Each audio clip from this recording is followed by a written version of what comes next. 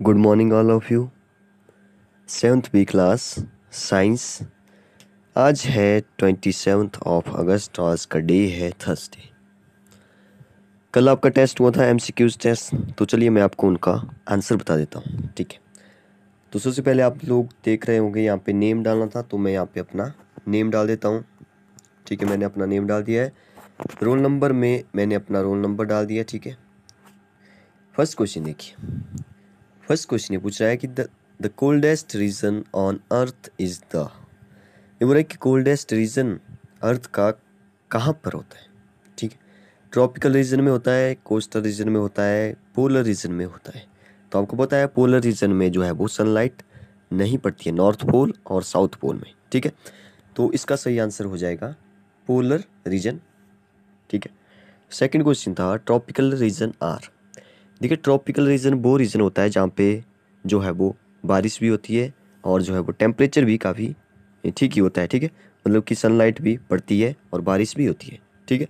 इसका मतलब है, यहाँ पे सबसे पहला ऑप्शन था ड्राई एंड ह्यूमिड ड्राई तो नहीं होता है क्योंकि बारिश होती है, इसलिए ए ऑप्शन जो है वो नेगलेक्ट कर दिया हमने। सेकंड देखिए hot and humid hot and humid होता है क्योंकि सनलाइट भी पड़ती है तो हॉट होता है। ह्यूमिड मतलब कि वहाँ पे जो है वो बारिश के कारण नमी भी बनी रहती है, ठीक है? थर्ड ऑप्शन था हॉट एंड ड्राई तो हॉट एंड ड्राई कैसे होगा?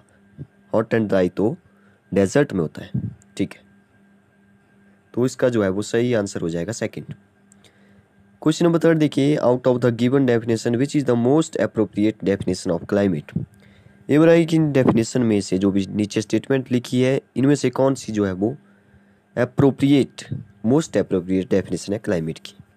मतलब कि कौन सी जो है वो सही डेफिनेशन आपको लग रही है। फ़र्स्ट देखिए change in weather condition in a year ये बोल रहा है कि जो वेदर है वो चेंज होता रहता है वेदर की कंडीशन है जो चेंज होती रहती है ईयर में, ठीक है। सेकंड है average weather pattern of many years तो हमारा सही आंसर हो जाएगा average weather pattern of many year जैसे मैंने आपको बताया था कि ट्वेंटी ईयर ट्वेंटी ईयर्स या थर्टी ईयर्स का टेम्परेचर जो है वो देखा जाता है, उसका एक एवरेज लिया जाता है कि एवरेज जो है वो टेम्परेचर माइनस में है या कितना है तो वो होता है क्लाइमेट वहाँ पे बोला जाएगा क्लाइमेट ठीक है? फोर्थ ऑप्शन देखिए। अच्छा जो थर्ड का हो जाएगा हमारा सेकंड ऑप्शन सही। क्वेश्चन नंबर फोर्थ देखिए which of the following briefly describe the desert climate वहाँ पे कैसा होता है? वहाँ पे बारिश नहीं होती है तो ड्राई होगा तो टेम्परेचर तो काफ़ी ज़्यादा होता है तो हॉट भी होगा हॉट एंड ड्राई तो हमारा थर्ड ऑप्शन सही हो जाएगा। क्वेश्चन नंबर फाइव देखिए which of the following statement which of the following statement is incorrect for penguins अब देखिए पेंगुइन्स के बारे में देख रहा है। दे हडल टुगेदर वो तो साथ में भी रहते हैं, ठीक है? तो ये बात तो सही है। सेकंड देखिए दे कैन नॉट स्विम नहीं, ये बात गलत है, क्योंकि वो स्विम कर सकते हैं आसानी से। ठीक है? दे हैव वेब्ड फिट उनके जो है वो जो भी पैर होते हैं, वो काफ़ी चौड़े चौड़े होते हैं। तो इसने बोला था इनकरेक्ट कौन है? तो इनकरेक्ट कौन है यहाँ पर? सेकंड क्योंकि वो स्विम कर लेते हैं बहुत अच्छे से। ठीक है? तो सेकंड ऑप्शन सही हो जाएगा। क्वेश्चन नंबर सिक्स देखिए the average weather taken over long time average weather long time के लिए मैनी ईयर्स के लिए तो इसका मतलब है वो क्लाइमेट की बात कर रहा है। ठीक है?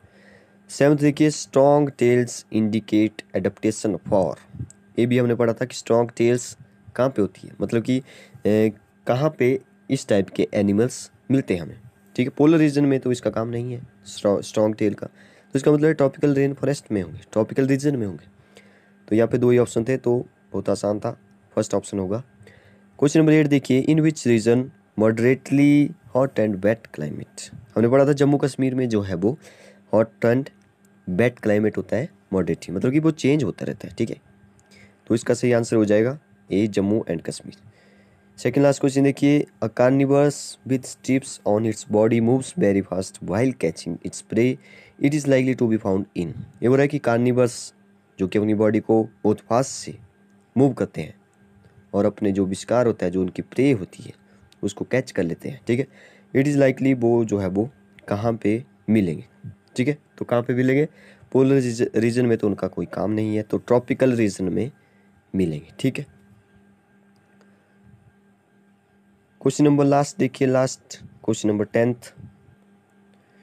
When are the maximum temperature likely to occur during a day ये पूछा है कि मैक्सिमम टेम्परेचर एक दिन में कब जैसे होता है, ठीक है?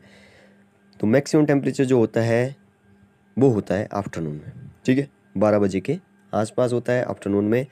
तो क्योंकि वहाँ पे सन जो है वो बिल्कुल ऊपर होता है, ठीक है?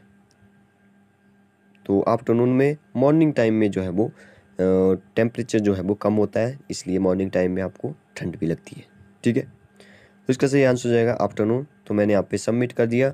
सबमिट जैसे ही किया मैंने यहाँ पे अपना व्यू स्कोर देखा तो कितना आ रहा है? टेन आउट ऑफ़ टेन ठीक है? तो आप लोग इसको फिर से भी कर सकते हैं एक बार। तो इसकी एक बार फिर से प्रैक्टिस करिए। और इन क्वेश्चन के आंसर जो है वो आप लोग फिर कॉपी पर भी लिख सकते हैं, ठीक है? लिख सकते नहीं है, लिखेंगे आप लोग फिर कॉपी पर, ठीक है? Okay thank you